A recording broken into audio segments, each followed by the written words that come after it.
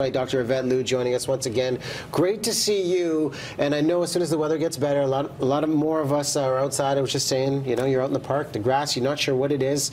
Uh, let's break it down. What is an allergy? Okay, well, allergies are caused when the immune system reacts to a protein called an allergen. And normally these proteins are harmless. But for some reason, when we breathe these in or take them in by food, the body says, alert, alert, alert, and, and decides that it needs to react. So usually it produces a lot of histamine and other inflammatory chemicals. That's why we take antihistamines mm -hmm. often when people have allergies. And these chemicals cause all the symptoms of allergies. So runny nose, congestion, watery, itchy eyes, sneezing, cough, you know, in people who have asthma and COPD, that's like emphysema and bronchitis, allergies can actually cause really significant symptoms, you know, difficulty breathing and stuff like that.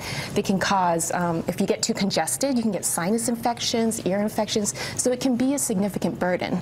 And what would you say are the most common types of allergies for Canadians? For Canadians, it's usually um, trees, grasses, and weeds, and then also molds. So the, those are seasonal allergies. We call them seasonal because they come back every season, and they don't just happen in spring. So I like to call them seasonal allergies instead of spring allergies. They're not caused by hay, so um, the, the name hay fever is a bit of a misnomer. Mm. And the trees start first, so they start in Vancouver because we have a mild winter. They start in February, and they go all the way throughout the spring until around June. And then the grasses come in maybe mid-spring all the way through summer, and then the weeds usually come in midsummer all the way until fall fall. And actually, you can get allergies all the way until October. All kinds of fun stuff around us year round. Uh, what about the idea of pollen count? You've got a great tool to kind of track this down, especially if you're planning an outdoor activity, uh, the pollen count forecast. Yes, so if you search Google, um, Vancouver pollen forecast. Then you can get a pollen report of the top three pollens in the air. And I tell people to get to know their allergy because then you can look on the pollen forecast and you can plan your day accordingly. If you know that you're, say, allergic to birch or alder, then you can look on the pollen forecast and you say, oh, look, that's high today. So then you can take your antihistamine early because the antihistamine prevents histamine release. Once it's out, you can't really do much about it. You have to sort of wait for it to go away, but you can prevent its release. And you can also stay indoors because pollens are higher between 10 a.m. and 4 p.m. Close all your windows, use recirculate in your car. Um, if you're not as exposed to the pollens, then you won't react as much. And one of the key things you said there was getting to know your allergy. And uh, one of the most definitive ways, we've even done this here on Breakfast Television, is the allergy test. And if someone hasn't done that, what's involved?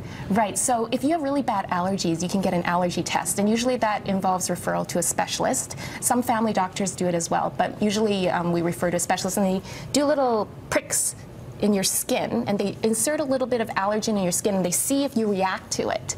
And if you react, they look at the size of your reaction and then you can sort of figure out what you're more allergic to. And when you look at treatments that are out there, because there are a lot of antihistamines on the market, what do you recommend uh, for, for your favorite for, your, for the patients? Well, I usually recommend the non-drowsy ones because those ones you can sort of continue to go on throughout your day.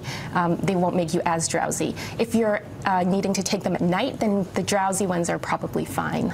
Okay, and resources online for people to find out more information when it comes to allergies? So I always recommend the HealthLink BC website that has a lot of good information on a lot of different health topics.